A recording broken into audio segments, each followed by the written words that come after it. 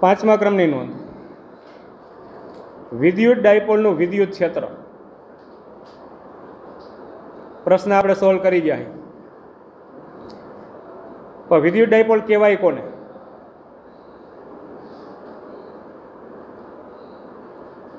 વિદ્યુત ડાયપોલ.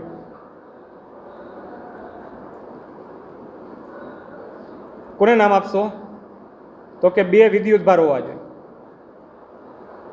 મૂલ્ય સમાન. વિજાતીય વિજાતીય એટલે એક પ્લસ અને એક માઇનસ. અને એકબીજાથી પરિમિત અંતરે આવેલા હોવા જોઈએ. એ અંતરને હું દર્શાવું ટુ એ વડે. બરાબર, આવી જે રચના હોય એને વિદ્યુત ડાયપોલ કહેવાય છે. બે સમાન મૂલ્યના વિજાતીય વિદ્યુત ભાર એકબીજાથી પરિમિત અંતરે આવેલા હોય તો બનતી રચના એને વિદ્યુત ડાયપોલ કહેવામાં આવે છે. પછી બીજી વસ્તુ આમાં યાદ રાખવાની છે. વિદ્યુત ડાયપોલ મોમેન્ટ વિદ્યુત ડાયપોલ મોમેન્ટ અંગ્રેજી શબ્દ છે આ. આને કહેવામાં આવે દ્વિધ્રુવીની ચાક માત્રા.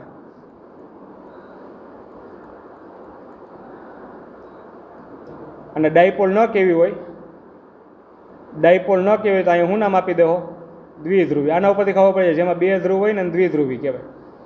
આમાંથી કોઈ પણ એક વિદ્યુત ભારનું મૂલ્ય લઈ લો. અને બે વિદ્યુત ભાર વચ્ચેનું અંતર. એનો ગુણાકાર કરું, જે કિંમત મળે એને વિદ્યુત ડાયપોલ મોમેન્ટ કહેવામાં આવે છે અને પી વડે દર્શાવવામાં આવે છે. સદીશ રાશિ અહીંયા ઉપર તીર કરું. દિશા હિસે કઈ બાજુ? પીની દિશા ટુ એની દિશામાં હોય. અથવા તો પીની દિશા કઈ બાજુ લેવાની છે? ઋણ વિદ્યુત ભારથી ધન વિદ્યુત ભાર તરફ.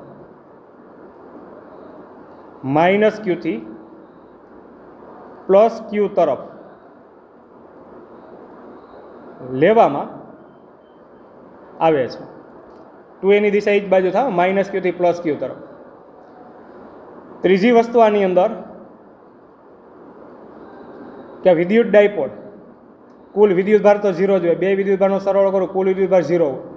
એની આસપાસના વિસ્તારમાં એની અસર, એટલે કે વિદ્યુત ક્ષેત્ર તો ઉત્પન્ન થાય. હવે વિદ્યુત ક્ષેત્ર મેળવવા માટેના સૂત્ર જો બરાબર, વિદ્યુત ડાયપોલનું વિદ્યુત ક્ષેત્ર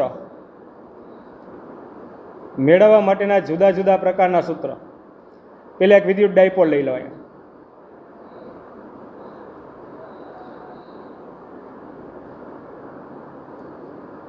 હાલો વિદ્યુત ડાયપોલ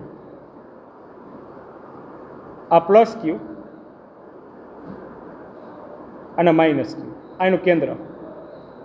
આખું માપ ટુ એ હોય તો બે બાજુ કેટલું કેટલું થઈ જાય? એ પછી વિદ્યુત ડાયપોલ મોમેન્ટ ઋણ વિદ્યુત ભારથી ધન વિદ્યુત ભાર તરફની દિશા આ વિદ્યુત ડાયપોલ મોમેન્ટ દર્શાવી હવે એમાં જો આજી રેખા થઈ, આખી રેખા એને કહેવામાં આવે છે ડાયપોલની અક્ષ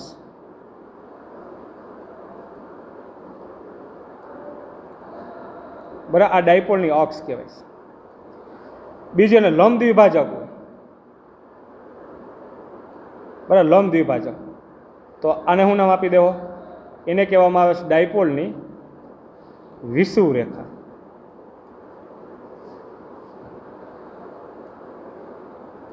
ડાયપોલ છે. આ આ આ રેખા લઈ લો તો ડાયપોલની અક્ષ કહેવાની લંબ દ્વિભાજક લો તો ડાયપોલની વિષુવ રેખા કહેવાની.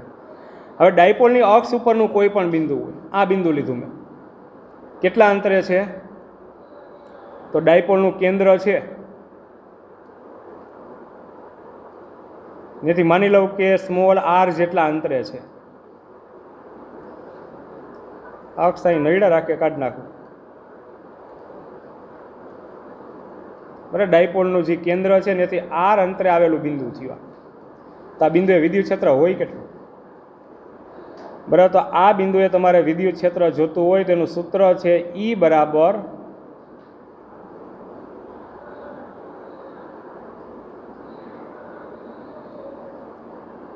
ટુ કેપી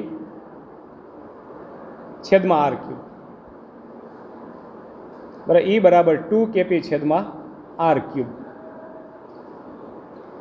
આર એટલે જે બિંદુએ ટૂંકમાં વિદ્યુત ક્ષેત્ર મેળવશે બિંદુનું ડાયપોલના કેન્દ્રથી અંતર છે. કી એટલે નવ ગુણ્યા દસની નવ ઘાત. ન્યૂટન મીટર સ્કેર છેદમાં કુલમ સ્કેર મૂલ્ય. કુલમના નિયમમાં જે અચળાંક આવ્યો હતો એ. અને પી એટલે વિદ્યુત ડાયપોલ ક્યુ ઇન્ટુ ટુ એની કિંમત હોય. પા ક્યારે? કે આરની સાપેક્ષે એ નાનું હોય તો. નાનું ન હોય તો, આમ તો જો કે જરૂર નહીં પડે બીજા સૂત્રને. આપણે આ સૂત્ર જ મૂકવું જોઈએ. બીજું, કે માની લો કે વિષુવ રેખા ઉપરનું બિંદુ હોય. અને કેન્દ્રથી કેટલા અંતરે? સ્મોલ આર અંતરે. આ વિષુરેખા શબ્દ છે, એ નૈડા રાખે તો એ ચેકી નાખવું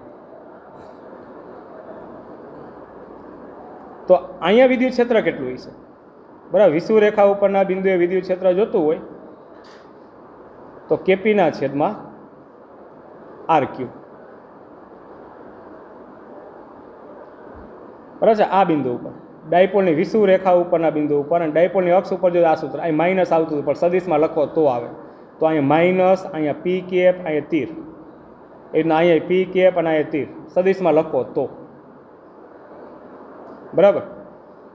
હવે આપણને બે જગ્યા ઉપરના વિદ્યુત ક્ષેત્ર તો મેળવતા આવડી ગયા. એક ડાયપોલની અક્ષ ઉપર આવે, તો ન્યાય વિદ્યુત ક્ષેત્ર મેળવતા આવડે અને વિષુવ રેખા ઉપરના બિંદુએ વિદ્યુત ક્ષેત્ર મેળવતા આવડે આ સૂત્ર પણ વચ્ચેના બિંદુ અહીંયા બધા વિદ્યુત ક્ષેત્ર તો હશે કે નહીં? તો વચ્ચેના બિંદુએ તમારે વિદ્યુત ક્ષેત્ર જોશે તો માટેનું સૂત્ર હું માની લઉં કે ડાયપોલ છે, એની સાથે ઠીટા ખૂણો બનાવતી દિશામાં આર અંતરે આવેલું બિંદુ હોય. તો આ બિંદુએ વિદ્યુત ક્ષેત્ર તમારે જોતો હોય ને તેનું સૂત્ર ટેક્સ્ટ બુકમાં નથી આવ્યું, પણ એમસીક્યુ માટે યાદ રાખવું જોઈએ.